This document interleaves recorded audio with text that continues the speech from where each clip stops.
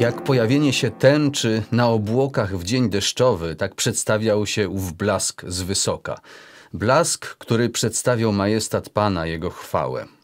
I tak się zastanawiam, e, wyobrażając sobie akurat ten obraz z pierwszego czytania z księgi Ezechiela, dlaczego tak łatwo oddajemy symbole, które od e, pokoleń, od wielu pokoleń e, są przypisane właśnie do naszej relacji z Bogiem.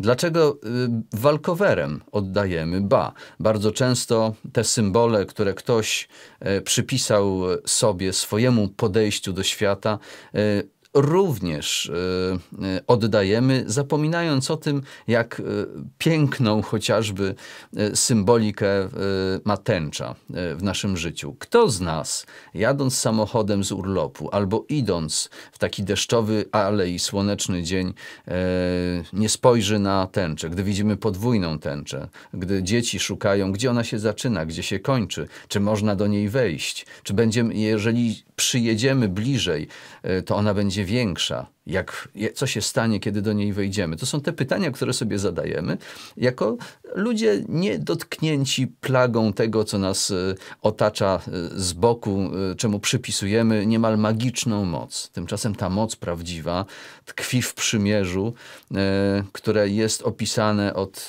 tysięcy lat starajmy się, tak jak te tęcze spotykamy w codziennym życiu, tak e, i wszystko inne, co e, powinniśmy znać i przypisywać e, Panu Bogu, a nie oddawać światu, który próbuje sobie uzurpować prawa do tego, spróbujmy poznawać tę symbolikę, bo może to oddanie walkowerem wynika z tego, że po prostu nie wiemy, a brak wiedzy zawsze prowadzi do nieszczęść.